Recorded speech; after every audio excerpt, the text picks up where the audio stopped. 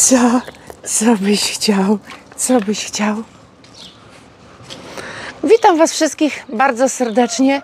Jeszcze nie uczesana, ale jest wcześnie rano i idziemy w pierwszej kolejności pokarmić zwierzęta. Zawsze u nas tak było, jest i tak będzie, że jak wstajemy, to tylko umyć się, ubrać i tam do zwierząt nakarmić je, bo to one karmią nas, one są naszymi żywicielami, no i one są w pierwszej kolejności, a dopiero później my i nasze gdzieś tam potrzeby żołądki. Przez noc dzisiaj spadło kolejne 4 litry deszczu. Kolejne. Jest mokro tutaj, no ale co zrobić? Idziemy do roboty. Tym czasie, jak my robimy obrządki, to mamusia od rana już tutaj pielęgnuje kwiatki, obrywa wszystkie te e, przekwitnięte. To jest bardzo ważne u kwiatów, aby systematycznie obrywać te przekwitnięte, żeby one nie ciągły tutaj niepotrzebnie e, składników pokarmowych, a tworzyły kolejne piękne kwiaty. Wy jeszcze śpicie, a mamusia już dawno na nogach jest. Tak, ja pamiętam też dziadka i babcię. Wy żeście spali, my spali. Oni godzina piąta rano już latali. Ale- Nie wiadomo po co, a mama nieraz mówiła, po co to tak wcześnie wstają, a dzisiaj sama wiesz dziadek co. to taką miał manię, znaczy tata mojego męża, taką manię, że przyszedł do kuchni jeszcze butami tupał, żeby my wstawali, a ja to po cichutku wychodzę, nie budzę was.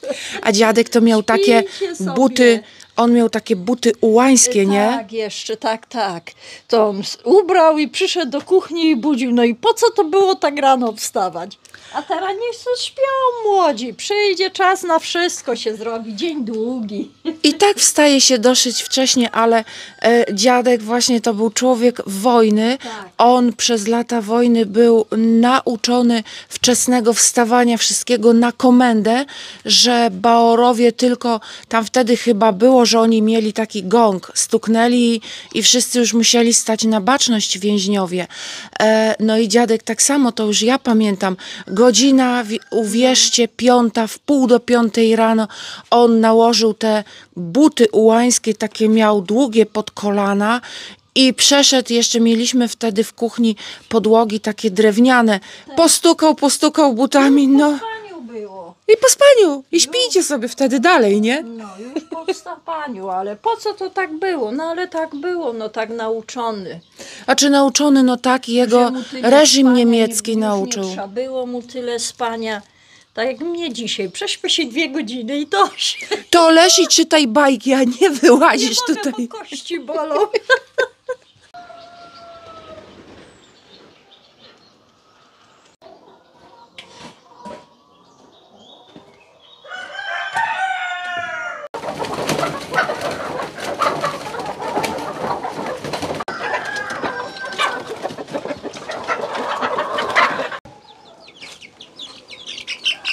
No macie. Proszę. To są te kurczaki, które wylęgły się spod tej jednej kwoki. Ona już kilka dni temu przestała kwokać, odsunęła się od kurcząt i wynieśliśmy ją do kurte. Zostały tutaj i one będą jeszcze ze 3, 4, może 5 tygodni, tak żeby dorosły, bo gdybym teraz dała je do kur, to one będą takie odpychane, biedniejsze, e, będą dziobane przez te starsze kury, bo będą musiały mieć ustaloną hierarchię. No i szkoda takich młodych tam dać, żeby już na starcie były gnębione. Później jak będą większe, to one prędzej sobie dadzą radę z tymi dużymi kurami. E, Dałam na początku 15 jajek. E, Z 15 wylęgło się 11. Dwa na samym początku nam zginęły, nie wiemy gdzie. Prawdopodobnie gdzieś przez dziurę wyszły, bo była dziura tutaj w drzwiach, myśmy nie zauważyli. I pewnie Franek albo Bolek e, te kurczaki, no niestety zjadł. Kolejne trzy same z siebie e, padły i zostało ich sześć. Po nocy spragnione jakby kaca miały. Piją dużo, bo jest ciepło. e, na noc tutaj dostają miskę, no ale zanim my wstaniemy, powiedzmy e, w pół do siódmej, zanim tutaj do nich przyjdziemy, no to one już wszystko wysmalą. Jest tutaj cztery kogutki i dwie kurki. Jakoś tak nierówno mi tutaj podzieliło. Panowie tu rządzą w tym statku.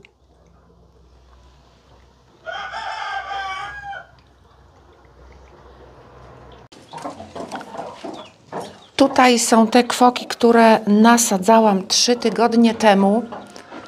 Jest ich cztery. Pierwotnie posadziłam sześć. Cztery siadły, dwie nie, wynieśliśmy je i trzy są tutaj.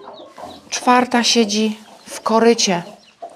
Termin lęgu przypadł na przedwczoraj. One zaczęły się tutaj lęgnąć i część kurczaczków wyszła, ale nie ma ich dużo. E, coś tutaj nie pykło. Te kwoki latały.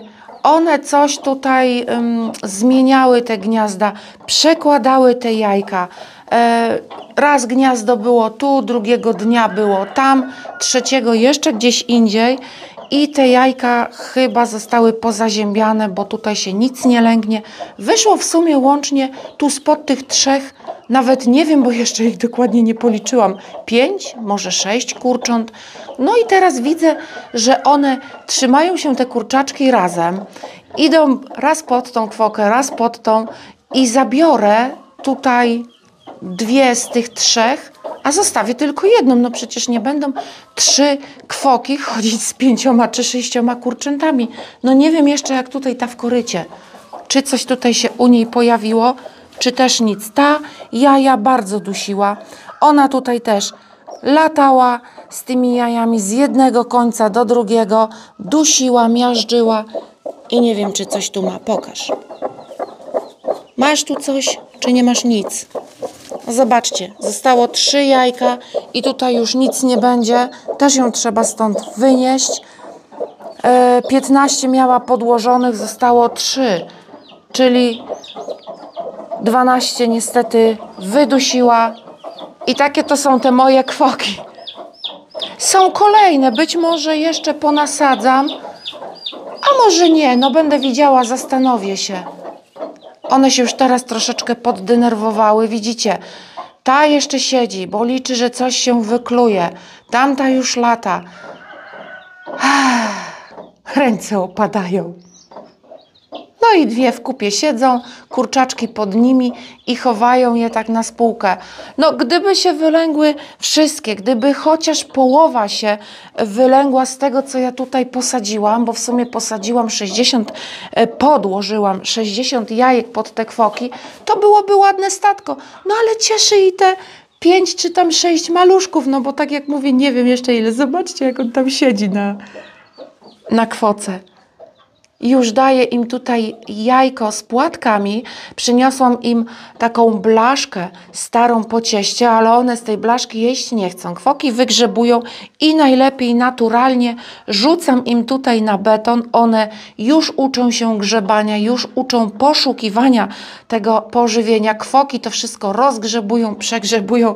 Także natura działa od pierwszych godzin życia. No, kurczęta są zagniazdownikami, e, to znaczy, że po wykluciu, zaraz jak tylko e, wyschną, nabiorą sił, są gotowe wyjść poza gniazdo.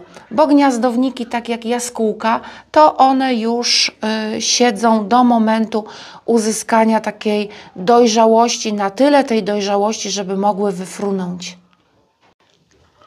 Tutaj właśnie są gniazdowniki, jaskółki, które też lada moment wyfruną. Są one już ładnie upierzone, dosyć duże. Dzioby mają takie białe, no i jak wyfruną już z gniazda, to po tych dziobach właśnie idzie poznać, że to jest młodzież, bo one te takie białe dzióbki mają dosyć długo, a stare jaskółki dorosłe, e, ptaki mają te dzioby takie szpiczaste, mocniej szpiczaste i czarno zakończone. Ta jedna siedzi tutaj taka dumna, napuszona. Zaraz rodzice przylecą z pożywieniem, więc ja się tutaj stąd usuwam. One się w ogóle nie boją, one są oswojone, bo my tutaj chodzimy, nie przeszkadzamy tym jaskółkom. I takich gniazdek w gospodarstwie jest bardzo dużo, nawet tutaj w stodole są gniazdka, my ich nie usuwamy, nie likwidujemy i one tutaj się spokojnie rozmnażają. Właśnie zaczyna znowu padać.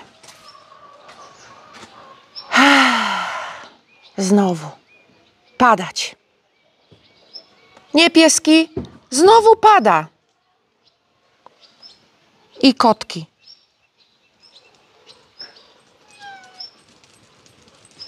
Trawa na ogrodzie po deszczach rośnie bardzo szybko, wilgoci ma dosyć sporo, jest ciepło, parno, więc ona rośnie. Tutaj na bieżąco mamusia podkasza kosiarką, wynosi kurom, ale jej wzrost jest tak intensywny, że no, nie jesteśmy w stanie tutaj na bieżąco nadążyć z tym koszeniem.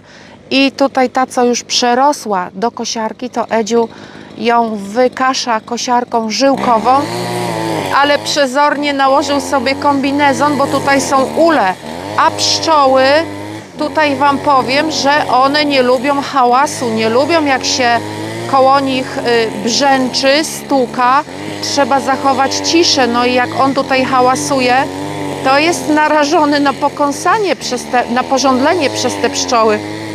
I przezornie założył sobie strój pszczelarza do podkaszania. No a skosić to musi. Ja lubię taką dzikość. Jak jest e, taka duża trawa, jak to wszystko tak rośnie w nieładzie. Ale tutaj ten ogród przejdzie dosyć dużą rewitalizację. Mamy tutaj plany.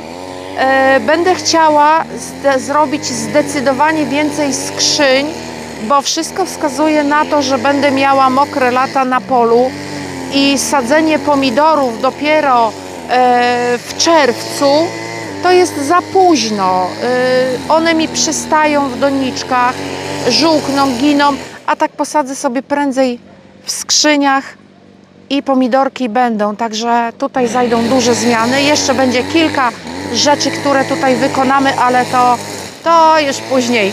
Na razie dzisiaj nie będę Wam tutaj nic jeszcze zdradzać.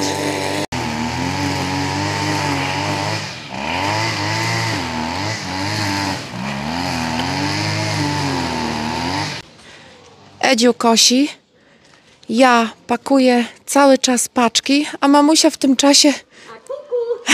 a kuku, tak, buszuje w słonecznikach. Wyplewia tutaj to zielsko. No i tutaj też jest posadzona nawłoć, posadzone są jakieś takie e, no krzewy ozdobne. Nie wiemy nawet co. O, słonecznik go. Tam jest już ładny. Mamusia ponasadzała, podostawała jakichś takich y, krzaków. A to jest, to widzisz, się jedno przyjęło. Rokitnik. Jak? Rokitnik. No. To jest ten, co w tamtym roku Krzyś mi zamówił, takie przyszły zdechlaki. Ja to już też mówiłam w którymś odcinku i w tym roku kupiłam sobie e, w ogrodniczym takie duże krzaki. I ten jeden tu, a tutaj było ich chyba pięć. E, tak, było pięć. Pięć Jedno było. się tylko ostało. Rokitnik jest bardzo dobrą rośliną, niedocenianą. Teraz wraca do łask.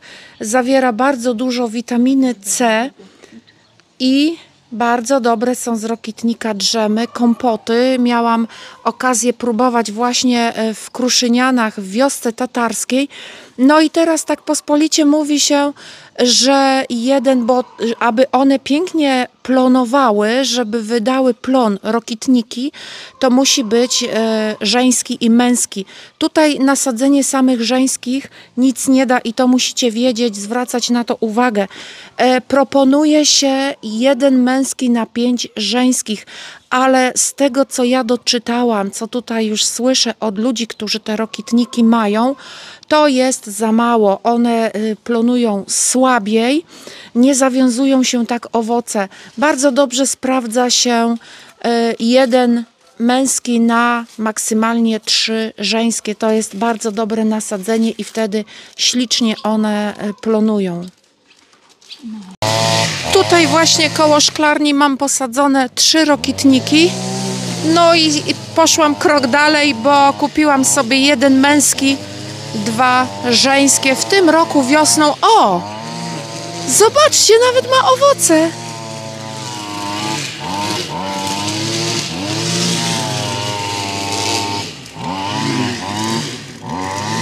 A tak chodziłam, zaglądałam tutaj, czy on kwitnie i nie widziałam. Jakoś gdzieś to przegapiłam. A tutaj jednak okazuje się, że już są owoce. Będę miała okazję w tym roku spróbować. Nie ma ich dużo, ale kilka jest. No i takie właśnie krzaki już duże sobie kupiłam. Trzy, tak jak mówię, dwa żeńskie i jeden męski. I to mi w zupełności wystarczy. Więcej rokitnika nie planuję sadzić. O, a tutaj dziurawiec, ale niespodzianka. Też nie wiedziałam, że on tutaj jest. Dziurawiec, e, bardzo cenne ziele jako zioło na wątrobę przede wszystkim. I nie tylko e, bardzo dobrze herbatka z dziurawca oczyszcza organizm, oczyszcza wątrobę. Zawsze jak chodziliśmy, bo kiedyś, no tych 25-30 lat temu, bardzo dużo ziół żeśmy zbierali. Czasy były ciężkie jak u każdego. Pamiętacie na pewno, że na niejedną rzecz brakowało. Ludzie różnie sobie radzili i my też. Nie było jakichś takich, wiecie, luksusów. Człowiek chodził, szukał e, zarobku, dzieci również, bo no, rodzice zawsze gdzieś tam mieli jakieś wydatki. I my chodziliśmy, też zbieraliśmy zioła, mama chodziła i obrywało się na taką wysokość. E, Dlaczego dziurawiec? Bo spójrzcie sobie pod słońce e, na listek, tutaj prawdopodobnie nie będzie widać. Nie wiem, czy widać, ale e, jak się spojrzy pod słońce, to liść jest tak jakby zdziurkowany, ma pełno dziurek, dlatego nazywa się dziurawcem i jest to naprawdę bardzo cenne ziele. Zrywało się na taką wysokość fazie, e, już Wam powiem, no takiej jak tu, tak żeby te kwiatki były część w pąkach, część rozkwitnięte, nie mógł on być całkowicie przekwitnięty, żeby wszystkie kwiatki były tak jak tutaj ten, o, ten jeden, bo to już był e, dziurawiec przekwitnięty e, z mniejszą ilością właściwości. Taka faza jak teraz to jest najlepsza na pozyskiwanie ziela. No i suszenie w warunkach takich e, naturalnych, nie w żadnych e, suszarkach. No i idzie to, co mówiłam. Długo słońcem się cieszyć nie będziemy. Zaraz tutaj prawdopodobnie wpucuje. No taki urok tego roku. A tutaj są nasze kartofle. Tak nam już teraz porosły w piwnicy. Zostało się jeszcze cztery worki e, lordów. To są wczesne. Kopiemy już młode, ale zawsze jest taka zasada u nas, że kopiemy młode, ale dwa, trzy worki zapasu jeszcze musi być. Leżą, choćby miały właśnie tak porosnąć, to muszą być, bo nigdy nie wiemy, co los da, jaki będzie rok i tych kartofli może braknąć. Teraz już mamy młode, już się kopie, także te trzeba obrać, no i sparować dla kur. A ja pakuję. Pada co chwileczkę w ogród. Nie idę, bo tam jest mokro, także jak tylko zacznę robotę, to zaraz będę mokra aż po same uszy. No i tutaj nie trudno później o jakąś chorobę, bo teraz jest e, czas jakichś takich wirusów, infekcji. Dużo osób zmaga się właśnie z chorobami gardła e, czy jakimiś innymi, także no ja tutaj nie chcę się narażać na szwank zdrowotny. No i pakuję paczki, ale tak wracając jeszcze do tematu ziół, to najlepsze suszenie jest właśnie takie tradycyjne, naturalne na strychach, bo e, w suszarkach nie należy ich suszyć z tego względu, że tam jest już temperatura e, nastawiona, jest całkiem inne suszenie. Owoce, warzywa jak najbardziej w suszarce czy grzyby, ale zioła trzeba suszyć naturalnie na strychach. Miejsce oczywiście musi być e, zacienione, nie może być e, otwartego słońca, bo te zioła będą czerniały i babcie starsi ludzie w ogóle i ja pamiętam jak suszyłam zioła zawsze na strychu, tata mi zrobił strych, drewniana podłoga e, z taką przestrzenią między betonem, żeby była cyrkulacja powietrza i część ziół suszyłam właśnie na tych drewnianych deskach, a część powiązane w, w pęczki, po, przywiązywane, poprzyczepiane do e, sufitu i na przestrzał dwa okna, tak żeby otworzyć je w taki ciepły dzień i tam musi być przewiew powietrza, wtedy te zioła dobrze, naturalnie dosychają. I tak właśnie suszyłam dziurawiec, krwawnik, kocankę, rozchodnik, połącznik, e, lipę, e, jarzębinę suszyłam. No jarzębinę to już się suszyło właśnie na deskach, lipę też się suszyło na deskach, a wszystkie rośliny takie krzaczaste, suszyło się powiązane w pęczki i one były przewiązane, taki miałam drąg zrobiony i podwieszone pod e, no, sufitem, pod dachem, pod dachówką, no bo tutaj na strychu już była dachówka i te moje pęczki tych ziół wisiały właśnie pod dachówkami, a na deskach leżały owoce, które się pozyskiwało, czy chociażby kwiat lipy, e, kwiat głogu, no bo tutaj też żeśmy suszyli. Oj, oj, oj, suszyło się dużo tych, tych, tych ziół. Kiedyś e, wszystkie te e, herbapole działały, były skupy. Tutaj u nas na tym naszym terenie nie ma już tak y, skupów ziół, ale z tego co od Was y, słyszałam, to jeszcze w Polsce y, skupy ziół działają. Na terenach wschodnich są plantacje zielarskie. U nas tutaj na tych terenach jako takich plantacji zielarskich nie było. Były zioła dziko rosnące i pozyskiwało się je w naturalny sposób. E, teraz już się ich nie pozyskuje i nie wiem, co się dzieje, bo te zioła giną. Już nie ma tak jak kiedyś jechało się, były całe połacie dziurawca. Teraz ten dziurawiec tak jest, tu kępka, tam kępka, tam kępka. To samo jest e, z krwawnikiem, czy chociażby nawet z komosą, pospolicie zwaną lebiodą. Kiedyś tej lebiody było wszędzie pełno. No dzisiaj u mnie koło ogrodu też jest, bo jakoś takiej nie karczuję, bo to też jest e, cenne ziele, ale ogólnie zioła giną.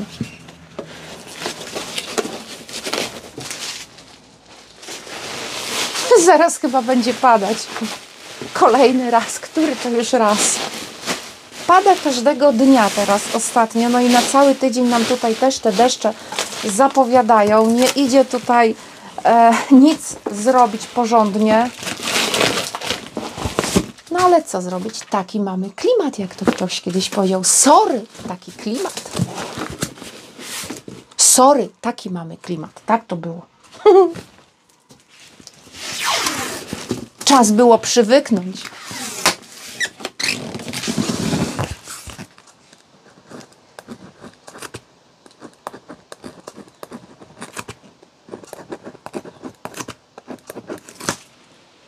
Na dzisiaj koniec z paczkami.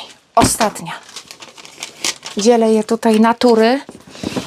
Ilość paczek dobieram do miejsca w samochodzie, tak aby mi weszły wszystkie Y, naraz, żeby mi później żadna nie została. I tutaj, kochani, y, nie martwcie się, wszystkie paczki do Was dojdą. Do trzech tygodni już wszystkie wyślę. I jest bardzo dużo zapytań odnośnie miodu, czy można zakupić miód, czy jeszcze jest i jaki jest. Y, tutaj teraz taka prośba do Was. Na razie nie piszcie do mnie SMS-ów, bo nie jestem w stanie na nie odpowiedzieć. Mam tutaj pracy bardzo dużo przy miodzie, przy pakowaniu, na ogrodzie, w gospodarstwie. Yy, i nie jestem w stanie odpowiedzieć na nowe SMS-y, bo cały czas są SMS-y odnośnie tutaj tych paczek, na które muszę odpowiedzieć, a tu nie chcę nikogo pominąć, także wielka prośba, wstrzymajcie się proszę na razie, bo jest mi naprawdę ciężko. Też yy, na komentarze nie odpowiadam, bo tam to już w ogóle nie mam kiedy zajrzeć, także no tutaj też dziękuję Wam za ogromną wyrozumiałość. Jak mam troszkę chwilki, to to wchodzę, czytam, przypinam serduszka. No teraz niestety czas jest bardzo, bardzo taki gorący. Niebawem na dniach pojawi się odcinek z miodobrania i tam właśnie powiem trochę więcej o miodzie, pokażę jak to miodobranie wygląda, jak tutaj rozlewamy ten miód. No i też powiem takich kilka ciekawostek, bo w tym roku ogólnie miody bardzo szybko się krystalizują i większość jest skrystalizowanych w formie stałej, ale to nie ujmuje wartości miodu, nie wpływa na jego pogorszenie się jakości i można bardzo łatwo taki miód w domu przywrócić sobie do stanu ciekłego, płynnego. I tutaj też Wam powiem, jak na co zwrócić uwagę, ale to już w kolejnych odcinkach i tam też podam znowu numer, powiem kiedy można te SMS-y zacząć pisać. Na razie proszę o taką e, cierpliwość, wstrzemięźliwość od SMS-ów. Boże, nie wierzę, wierzę, y, nie wierzę. Proszę o wstrzemięźliwość od SMS-ów. Jak to zabrzmiało? Wszystko wszystkim, ale wstrzemięźliwość od SMS-ów. Oj, kochani, kochani. Już mi się chyba język plącze. Do następnego.